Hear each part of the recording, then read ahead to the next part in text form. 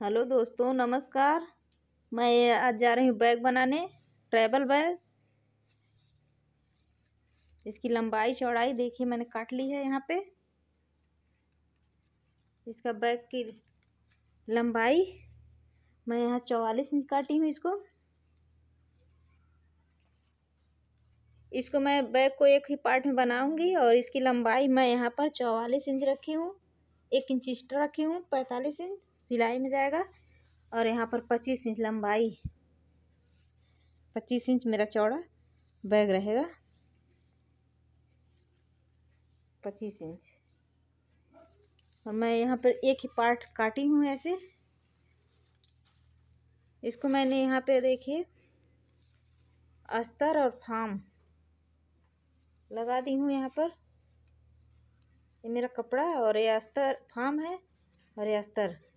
मैं सब कुछ ऐसे अब इस पर सिलाई चला दूँगी, तब दिखाऊँगी। और यहाँ पर मैं जेब, दो जेब काट ली हूँ यहाँ पे, ग्यारह बाई ग्यारह का। ग्यारह, देखिए, और यहाँ पर ग्यारह, दो काटी हूँ बैग जेब। अब इसको पहले मैं सिलाई लगा दूँगी यहाँ पर, तब मैं दिखा रही हूँ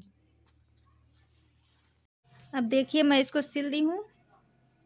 इस तरह सिलाई चला दी हूँ यहाँ पे। इस तरह सिलाई चला दी हूँ यहाँ पे और दोनों तरफ़ से मैं इसका पट्टी लगाऊँगी। यहाँ से इसको मैं नौ इंच छोड़ूँगी। इधर से सात इंच।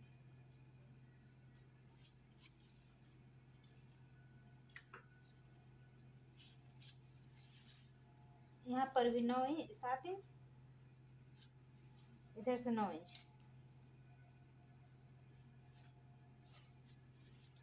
इसी तरह उस साइड से।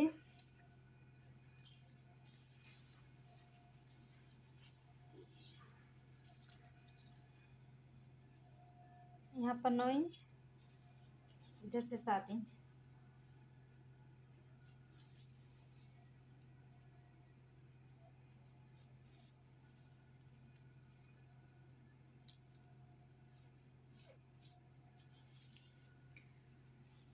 और यहाँ पर मैं चैन लगा दूँगी इसको। इसको यहाँ चैन सिला जाएगा यहाँ पे।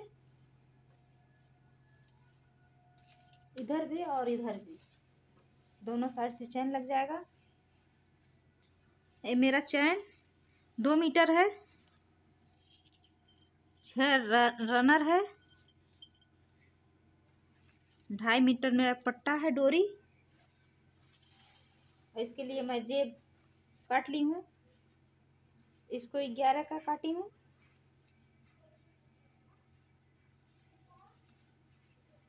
दोनों जेब साइड वाला देखिए यहाँ से। मैं इसको तीन इंच पे निकाल दे रही हूँ।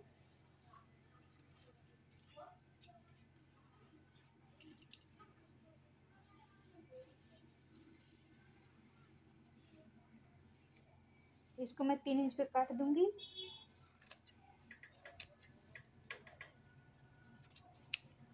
यहाँ पर भी मैं चैन लगा दूँगी दोनों जेब में। इस तरह यहाँ चैन लग जाएगा।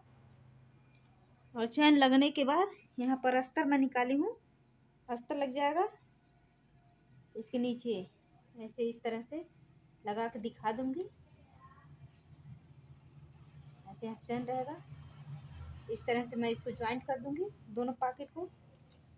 और ये मेरा साइड का पॉकेट है, यहाँ पे लगा दूँगी इस पॉकेट को। यहाँ पे लग जाएगा मेरा पॉकेट ये वाला। और एक पॉकेट मेरा नीचे लग जाएगा ये वाला। इसमें भी चैन लगेगा। ये वाला पॉकेट मेरा यहाँ पे लग जाएगा। इसमें भी चैन लग जाएगा।